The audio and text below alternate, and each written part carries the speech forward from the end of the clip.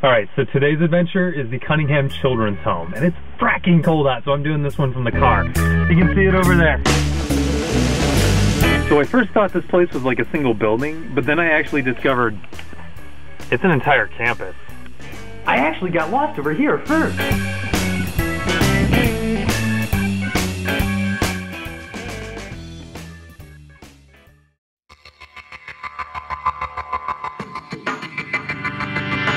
I guess starting off, um, who are you and how did you get involved with the Cunningham Children's Home?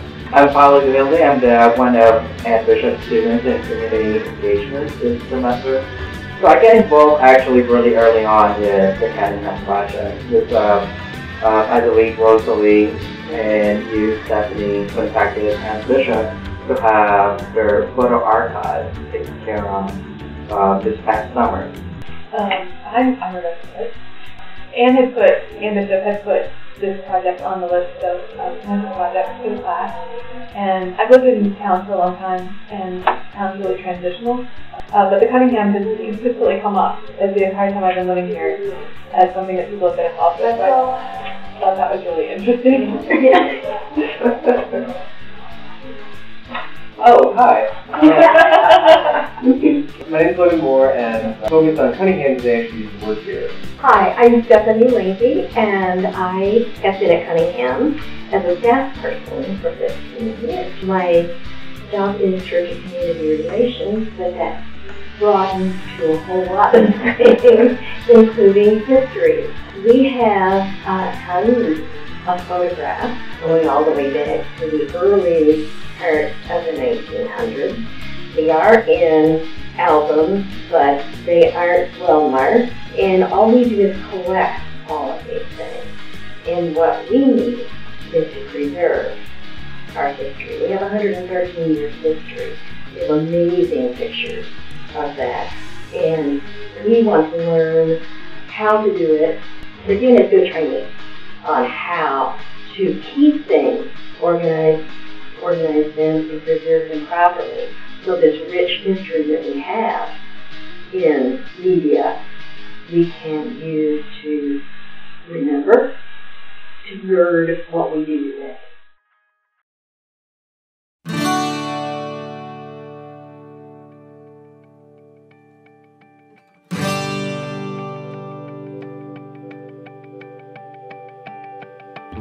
You've got this pile of photos out on the table here. Can you explain to me a little bit what these are about, um, what you've been doing with them, what they represent?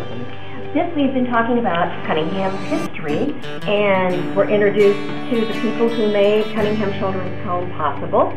Judge and Mrs. Cunningham, who moved way out west from Ohio, out to the wild lands of Urbana, Illinois, uh, about the mid 1800s. I actually call these people activists. They came into the community, they were dynamic.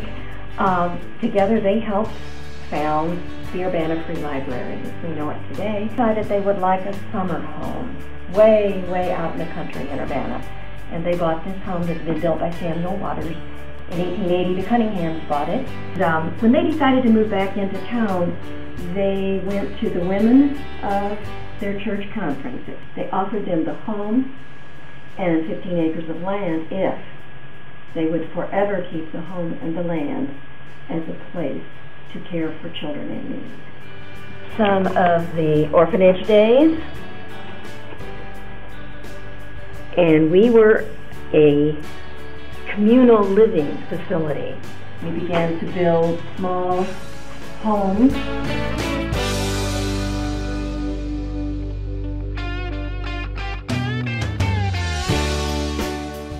This system remains in place today, but obviously the kids have changed and so have their needs.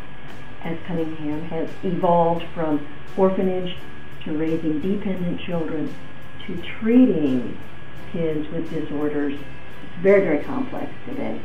And thanks to our new facility here on campus, we have the cottages built to work with these kids. Cunningham evolves, will continue evolving. The mission of the same. picking up our kids in need. The way we do it has changed, and that's why we're here today.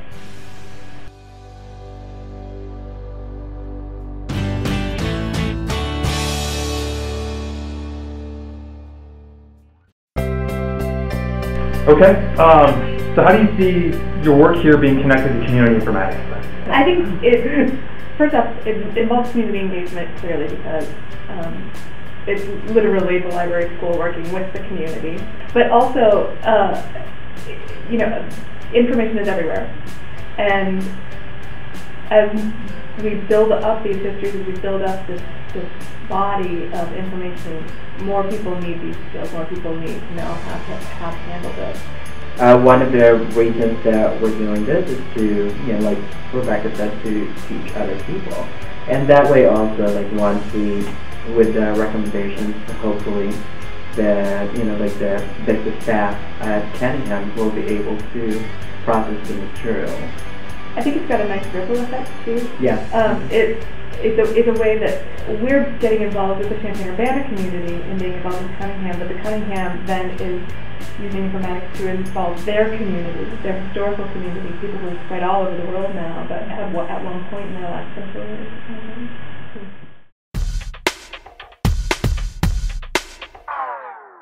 All right, so we are walking into the midst of their operation.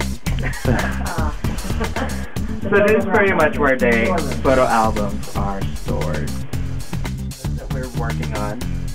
Um, as you can see, there are actually in photo albums. Majority of them are.